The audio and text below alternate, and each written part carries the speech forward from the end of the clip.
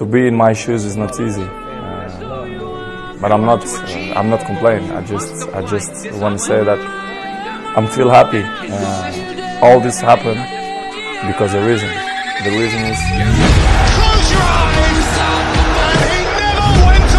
He comes to life when the competition comes to life.